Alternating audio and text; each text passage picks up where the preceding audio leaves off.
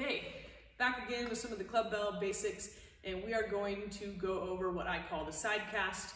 Maybe it's called something different with someone else. That's just what I refer to it as. I'll show you from the front and I'll show you from the back also so you can get a good idea of what's going on. I'm using a 15 pound club. I've been doing this a little bit, so you might want to try with a five or a 10 to start. I mean, you will want to try with one of those lighter weights to start when you're learning clubbells, especially for the grip strength, we really want to make sure that our tendons and ligaments are used to going through some more dynamic uh, exercises than just with stable weights. So it's really important that we start light and kind of build up in sets before we build up in reps and build up in weight. So start light, get a ton of sets in, and that should be a really good place to start for you. So the side cast, we're gonna start again in order, and we're gonna come into this externally rotated position. I really like to keep a strong core. We don't wanna extend the back as the weight comes behind our head, which is one of the most advantageous things to using the club is that it's really important to have that core stabilization and it really gets the core firing really nicely, as well as a whole lot of shoulder strength. So I have this arm out to the side.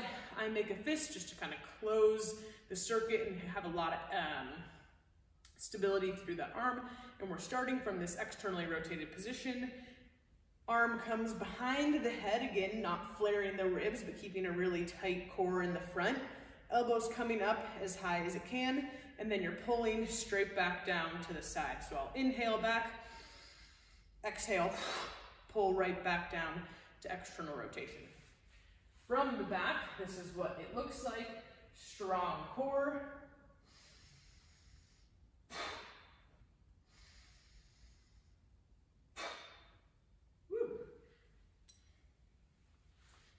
So there it is, that's the side cast. As you can see, really demanding on the grip strength, really demanding on the shoulder.